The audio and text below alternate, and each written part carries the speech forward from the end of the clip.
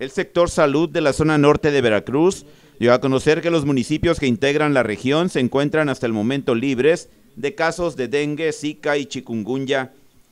El doctor Juan José Inés Rodríguez, jefe de la jurisdicción sanitaria con cabecera en Pánuco, destacó que se han puesto en marcha acciones encaminadas a evitar la presencia de estos males.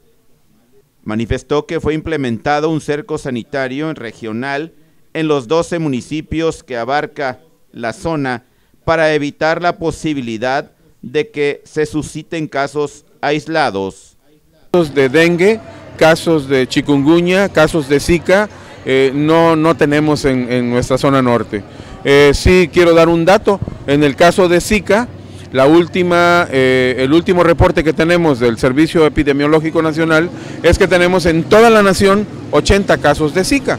Y entonces, bueno, pues ya habrá que echar a volar la imaginación, 80 casos repartidos entre toda nuestra nación, pues es un padecimiento que está iniciando. Finalmente dijo que se trabaja de manera organizada con los gobiernos municipales de las 12 ciudades. Noticieros, Canal 26.